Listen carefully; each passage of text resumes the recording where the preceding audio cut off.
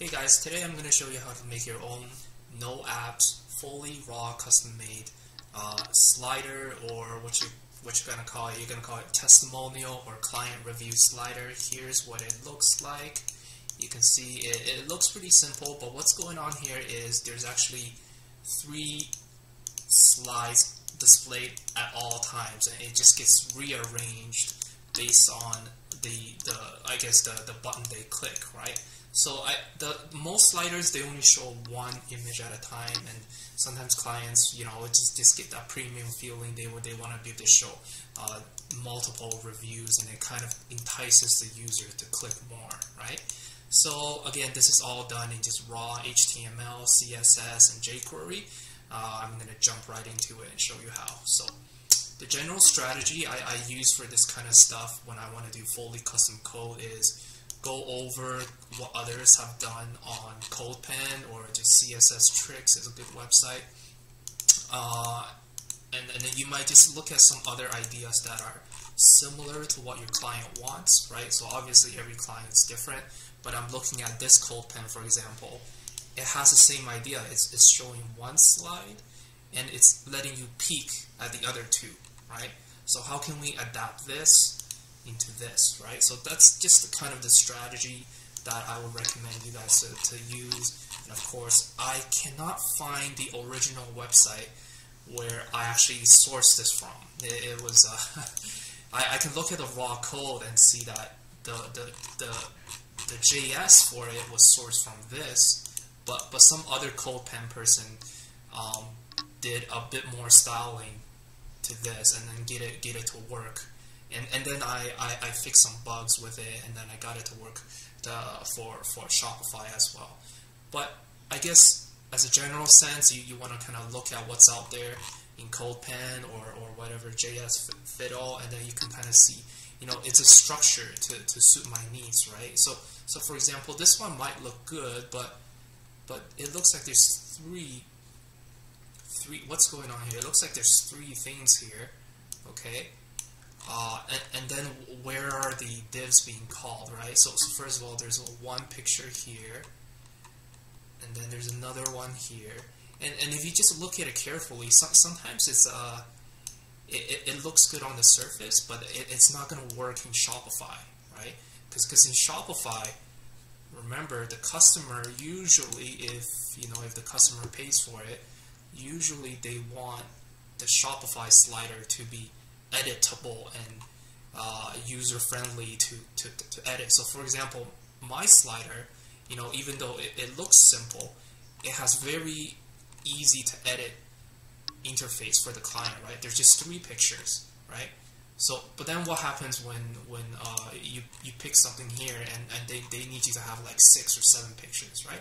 So just keep in mind you, you do have to like study and, and then read others' code for a little bit and uh, I, I've come across where it looks really good, but then the code just looks really confusing, and it's not, it's it's hard to adapt into kind of like this format. Later on, you'll need to adapt into this format where it's very uh, customizable for the client.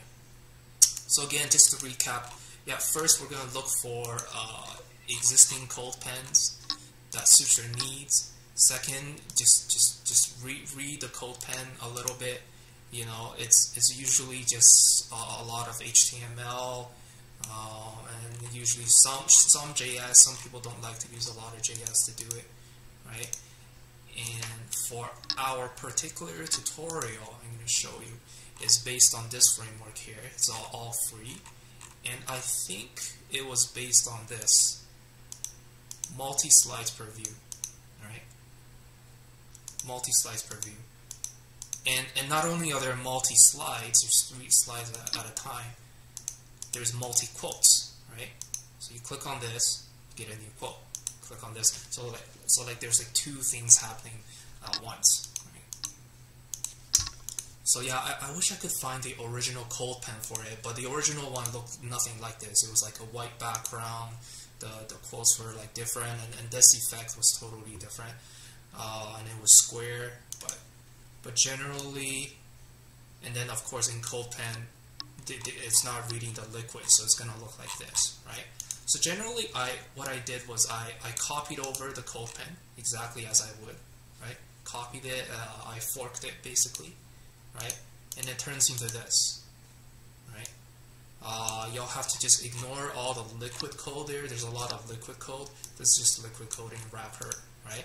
But in the beginning, obviously, this wasn't here, right? This is the liquid injection. This is taking the section title. Uh, this is writing the section title and things like that, right? Uh, but but the code you can see, and then you can see here here here is where it's taking the the the JSON settings, right, and then injecting it dynamically, right? And of course, there's there's always bugs as well. For example, the original CodePen they had four sliders and it didn't work. It just didn't, it looked good, but it didn't work with four sliders. So the original one looked like this. And then if you go to the last one, it would be bugged. It wouldn't render correctly. It would throw off everything else, right? So I, I just hid the, the fourth child element of that just to make it just to make it work. And, and the client only wanted three three uh, elements as well, so we, we just made it work that way. And the the JS for this is again is based on that whole library, right? So I didn't touch this. I mean, I tried to locate it, but if, if you usually if you look at a JS or jQuery library, uh, it's it, it's not going to be legible to the point where I think you can fix it. Uh, let's see, what, what is this I hear? It's a 4,000 lines of code, right? So what I did was I copied all of this, just copied right into my Shopify theme? I didn't want to link it dynamically either, just because sometimes uh, Google Speed uh, Insights doesn't like that, or they just they just flag you for that. So I just but but I just basically copied it in here for now. Here, okay. So this is just a copy, Swiper 2.0, and you can see the author is there. The author is there, right? So full credits to the author, of course, for this demo. Right? Copied it, refer to it, right? and then I called it in the header file up here. Called it, it's here somewhere. It's here somewhere. Here's my CSS. It's here somewhere. Okay. So, so I call this script in my footer actually. I think this is either my footer or header, one of these. No, this is my header. Right, deferred it. And yeah, so all the code was accessible to me.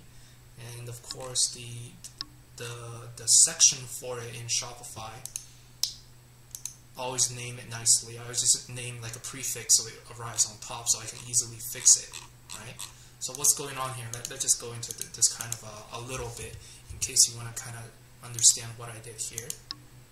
I, I wrapped it in a full width container. This is just a default container that comes with a theme, so I just used the default class.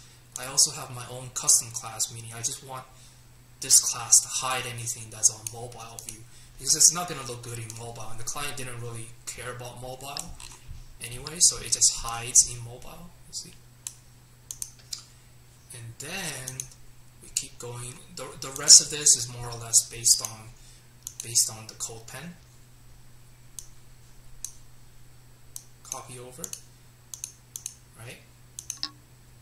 And then and then it's based on the JSON here. So I'm copying over the title the rest of this is just using the container that I already got. So this this has to be customized, right? So this is calling the image, right? From down here in the JSON sections, right? This is copying the second image, third image. What's nice about this uh, this piece of code that the original developer did here, there's only three images I need to call. I, I don't need to call like duplicate images uh, or, or some weird stuff like that. Uh, they, they didn't do do any kind of like unoptimized coding for that. So that was really nice, right? As for the quotes, um, as for the quotation, we, we just got pulled it off of here, right? And then you see the review one, review one name, review one role. So what that is is here. So this is review one. Sorry, this is this is review one, review one name, review one role. Right?